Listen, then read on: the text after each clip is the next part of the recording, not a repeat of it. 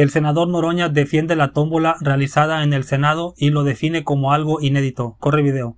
Dicho yo, vi muchas críticas en las redes sociales del proceso de tómbola, Gerardo.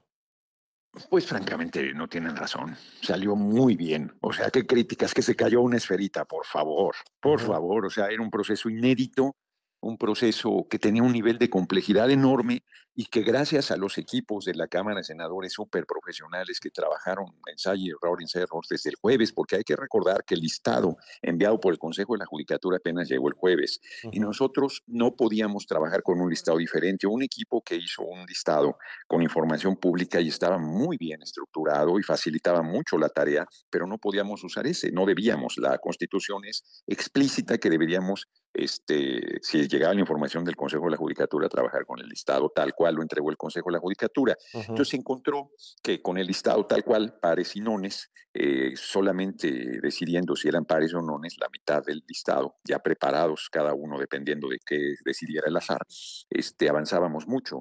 He escuchado también que hay juzgadores que manifiestan que es un agravio que se decida al azar su suerte. No se decide al azar su suerte. Ellos exigieron, pidieron, solicitaron solicitaron de todas las maneras posibles que no se hiciera la elección en una sola jornada y la dividimos en dos. Y ahora resulta que dar eh, a, la, mitad el plazo en 2027 resulta un insulto. No, bueno, o sea, francamente, ¿quién los entiende? Pues entonces lo hubiéramos hecho todo para todos en 2025 y entonces ya no estarían molestos por el azar.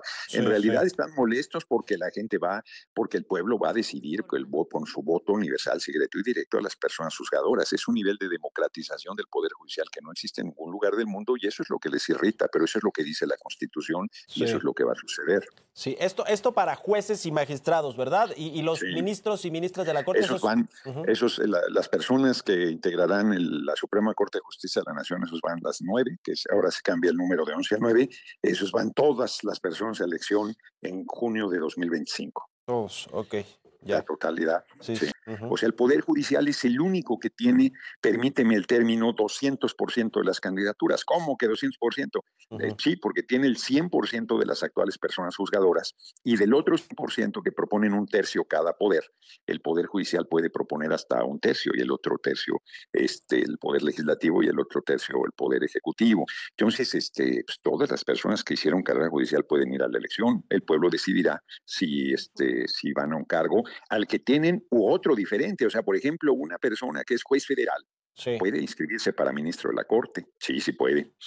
esa no tiene pase directo, esa tendría que ser respaldada por alguno de los tres poderes institucional. Hoy hay jueces que hicieron la carrera judicial y que emitieron amparos violando la ley eh, de amparo que en el artículo 61 dice fracción primera que frente a reformas constitucionales no procede amparo alguno.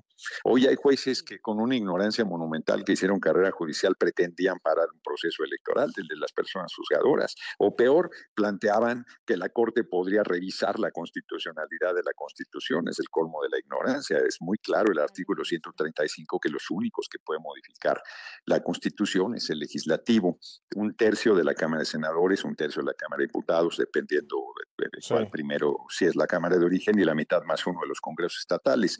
En ningún lugar del marco constitucional, ni del anterior, antes de la reforma, ni el reformado, le da al Poder Judicial facultades para revisar la Constitución. O sea, en esta reforma, por cierto, que nosotros hicimos a la Constitución y que ya es ley vigente, sí determinamos que la Corte, que la Suprema Corte de Justicia pueda revisar la constitucionalidad de leyes secundarias. Eso sí es una facultad del Poder Judicial que tiene y conserva. Leyes secundarias, no el marco constitucional. claro, se pueden mejorar, la experiencia nos dará elementos para mejorar, pero de que a partir de, este, ya eh, las personas juzgadoras serán elegidas por el voto universal, secreto y directo, eso es un hecho que no se modificará. Oye, eh, Gerardo Fernández, ahora te quiero preguntar por último sobre esta, eh, la visita de la ministra presidenta Norma Piña al Senado para la celebración de los 200 años de su instauración.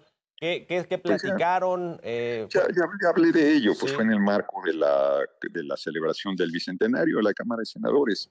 este, fue invitada, este, aceptó la invitación y, y tan tan, ¿no? O sea, no, este, yo esperaría que el Poder Judicial pues se avanzó, mira, se entregó el listado 4 a 3, ciertamente la ministra presidenta Norma Mía votó en contra también, por cierto, de que se entregara ese listado, pero lo recibimos.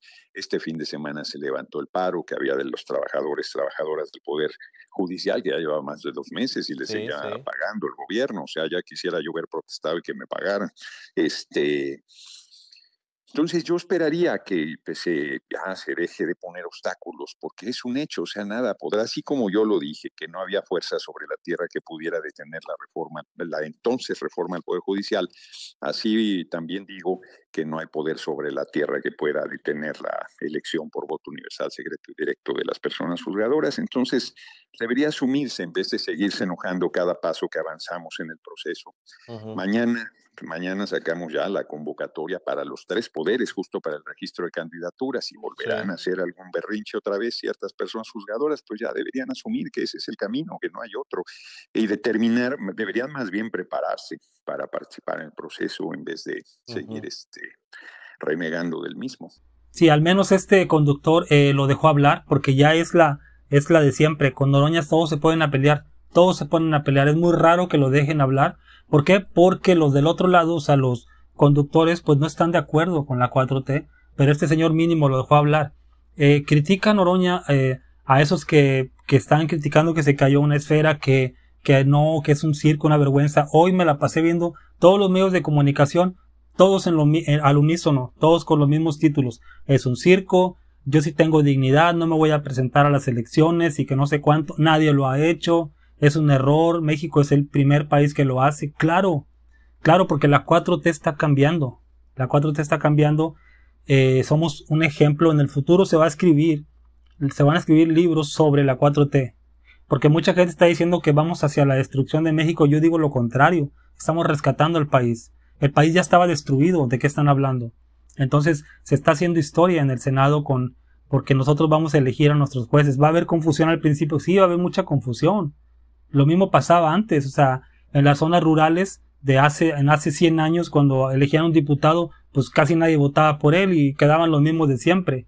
Pero había un orden, ¿sí? Había un orden, 300 distritos que se dividía el país. Entonces aquí va también va a haber un orden, como dijo Noroña, esto es perfectible. Esta no es la última palabra, se puede modificar, pero quien no la va a modificar es el Poder Judicial porque no le gustó. Faltaba más. Sería la primera vez que tocan la reforma. Nunca en la historia cuando, cuando han regalado al país, nunca el Poder Judicial ha dicho no estoy de acuerdo que entregues al país en detrimento de los mexicanos y voy a echar para atrás la reforma. No se puede. Doctores en derecho han ido y venido, derecho constitucional, y todos están en la misma. No, el Poder Judicial no tiene poder para cambiar una, una, una ley, la constitución. Se pueden quitar reformas, leyes secundarias, pero no la reforma. Ahí sí estoy de acuerdo yo. Eso es ley, aunque no me guste.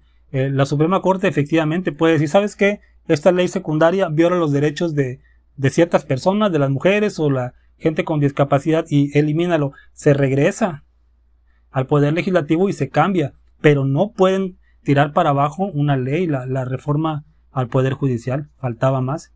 Dime qué opinas tú. Hasta luego.